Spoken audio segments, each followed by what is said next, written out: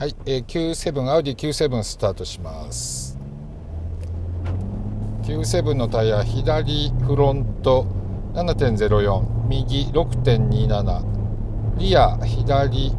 7.64、右6.64。ほわほわほわほわほわほわほわ。この振動何？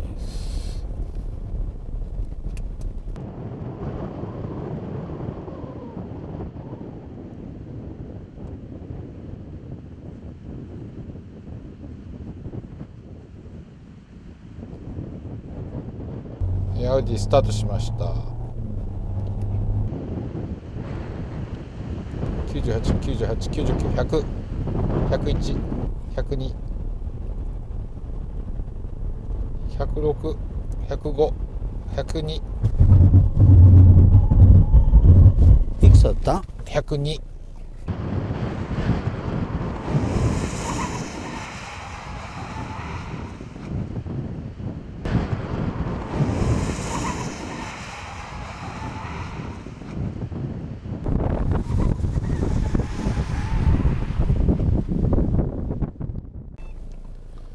GPS102 で進入しました。やっぱ止まるな。重いと。そうですね。面圧かか。るこれタイヤは新品。新ほぼ新品に近い。うん。3.2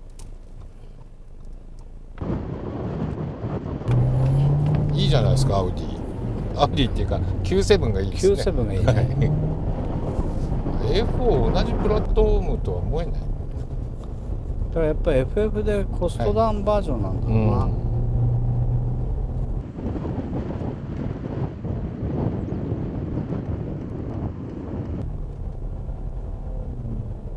な、102だ、はい。えー102で ACC102 でいきます。101になると思う。100 102、102本当だ。101 101ね101正確だスピード。102 102 102こっちも102 102 102 101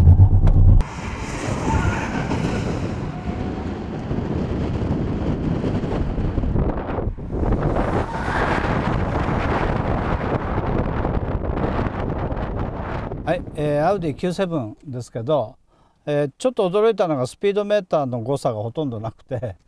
えー A4 とは全然違うんですけど、まあ、実測とスピードメーター1キロしか違わないで今までいろんなデータを取ってきた中で、まあ、初めてでしたけど、えーまあ、重量が重いので止まりやすいしあのしっかりこうタイヤに荷重がかかってれば、まあ、打が効いて、えーウェットの影響を受けにくいっていうのがあるんですけどちょっと路面状況はあの風が出てきたので、まあ、ブレーキ踏むところの水深がかなり浅くなってきたので、えーそのテスト条件の変化っていうのも、まあ、多少有利には働いてるんですけど、まあ、でもやっぱりその、えー A4FF と同じプラットフォーム系で見ればこっちはかなり、えー洗練されてしっかり作り込みされてる感じがあるんですけどちょっと FF の A4 の方がやっぱりフロントアクスルの合成がちょっと弱かったりブレーキかけると、えー急に打が抜けたりするところがあるので、えーまあ、この SUV はあの非常にしっかりえーバランスもいいし、まあ、ウェットの旋回ブレーキ性能も良かったですね。だからこれも重いから曲がんない重いから止まんないっていう、まあ、今までの常識はあまり当てはまらないというふうに思いました、えーこの車でしたら安心して誰でもあの雨の日のフルブレーキングは使えますね。ボルボスタートしました。ボルボスタートします。えータイヤフロント左5.90右5.37リア左6.16右5.56なんかフロントはこどっかに粗さがやっぱう、り、うん、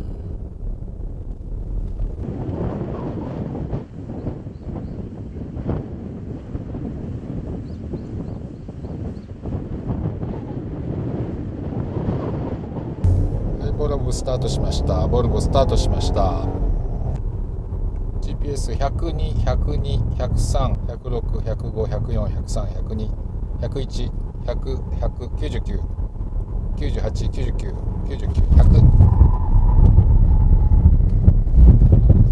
GPS100 で侵入。GPS100 ぴったり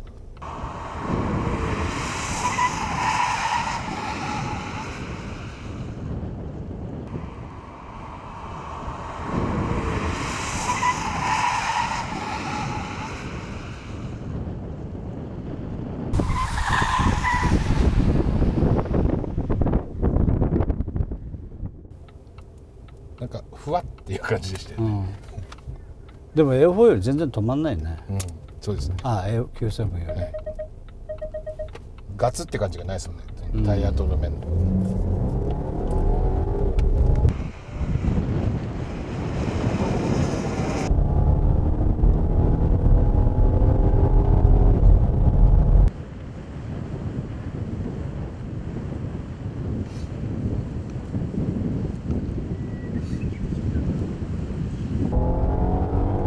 スタートした。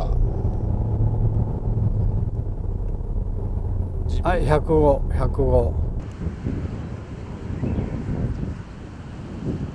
101はいで死んでます、105105 102、102、103、102、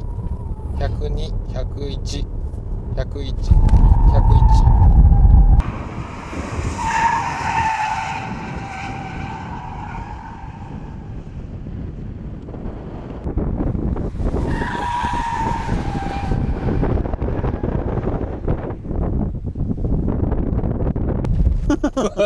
おお。一回こう本当こう予測できないよなこの ABS ってさはい。その DST はやってみないと分かんないですねあの旋回ブレーキで果たしてコンピューター ABS がどんな軌跡を描くかっていうのは神様も分からないでこれ2回目やっぱりちょっとこう外側に行って、えー水深の深いところ行くと今度タイヤのウェットグリップが弱くてさーって外行くんですね。でもうダメかなと思ったら最後の最後でなんちゃってって感じで戻ってきたりとかですね。もう多分それは性能を作ってるっていうか結果としてそうなってるとしか思えないんですけど、まあ、とにかく実際に生きてる路面はいろんなこう変化の中で私たちは車使ってるのでそういう路面変化いろんなものに対して、まあ、ある一定のドライバーが予測できる挙動を作るのが、まあ、自動車メーカーの、まあ、高度なあのプロの仕事だと思うんですけど、まあ、ただ ABS 乗っけときゃいいよねじゃなくて、まあ、そこら辺をもう少し、えーボルボには期待したいなと思うんですね。で確かに衝突安全等では、まあ、自動運転も最近ボルボ力入れてますから、えー相当いい技術を持ってるんですけど、まあ、こういうダイナミックな領域においても、まあ、きめ細かい、電子制御 ABS のチューニングをしてもらいたいと思います。タイヤは5ミリ台でちょっと溝がないんですけど水あの水深の薄いところは全然問題ないんですけどねちょっと奥の方で、えー風の影響で水が深いところ行くとさってこうフロントの打が抜けるところがあるのでまあその辺はまあもうちょっと、えーこのぐらいのタイヤの山でもなんとかあのグリップしてほしいなという気はしました。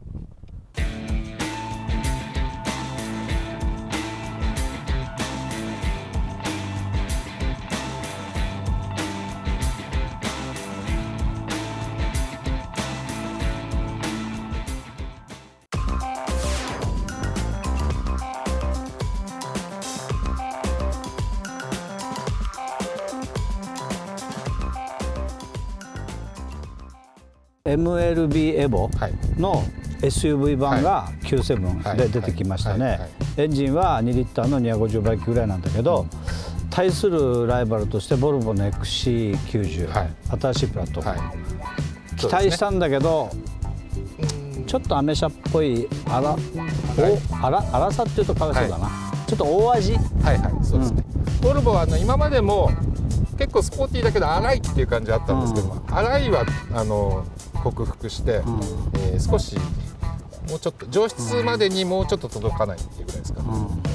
まああの大味感がやっぱりなんかあれでもいいねっていうなんかアメリカの懐の深さ感みたいなものにこう神経質なこう日本車の高級車とは違ってね、はい。はいあのなんかジーパン T シャツ革の中そのまま入っていけますみたいな感じ、うん。そうですね、まあ、でも全体的にもうちょっと熟成感が欲しいというところですか、でもまあ自動運転ドライバーアシストシステムを含めたヘッドアップディスプレイとかああいうところの HMI とかは本当によくできてて、はい、やっぱり自動運転の世界ではやっぱりボルボもこうダークホース的な存在でね、はい、メルセデスとかドイツメーカー日本メーカーだけじゃなくて、まあ、ボルボも相当やってるなって感じがあるんでねそこはちゃんと評価していきたいと思いますね。はいジャガーランドローバーがインド資本のように、うん、ボルボは中国資本でちょっと違うあの他とは違う事情ですけれども、うん、いい車作りには行ってますよね。そうだね。だから自分たちのブランドとか個性をしっかり持ってれば、うん、別に資本家は誰でもいいと。そうですね。むしろそういう資本が入ってくると個性をより強く打ち出さないと、外のだからフランス人が言ってたけど、外の人間の方がフランス文化よく分かる、はいはいはい、フランス人の方がよく分かんないって言ってたけどね、はいはいはい、ドイツ人が障子とか好きみたいなだね、えー、ことですね、はい、ってことは三菱も再生があるとしたらあの外資にグループ会社の資本じゃなくて外のファンドで再生をしてもらおうかというまあそれがいいかもしれないですね、はい。まあ、このタイミングでこういう発言も微妙ですけど、はい。ということで2016年、えー、ダイナミックセーフティーテストシーズン10、が始まりました、はい、秋の陣はまた楽しい車いっぱい持ってきたいと思います。